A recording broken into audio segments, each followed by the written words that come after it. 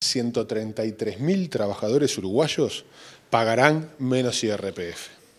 Dentro de esos 133.000 trabajadores, aproximadamente el 90% tiene ingresos inferiores a 44.000 pesos nominales. Es decir, el gran universo de trabajadores beneficiados eh, son aquellos de menores ingresos.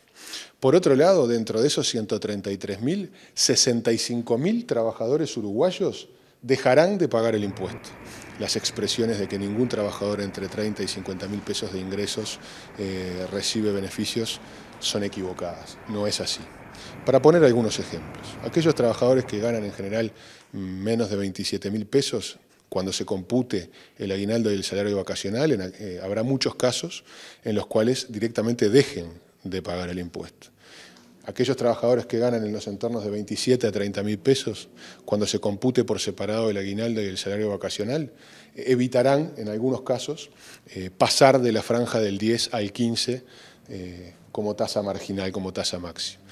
Hay trabajadores entre 40 y 45 o 46 mil pesos que evitarán pasar de la franja del 20 al 22, con lo cual también tendrán beneficios. Por lo cual, numéricamente, y los números no mienten, eh, hay muchos trabajadores que tienen ingresos que están entre los más bajos del universo de trabajadores uruguayos que se verán sustantivamente beneficiados.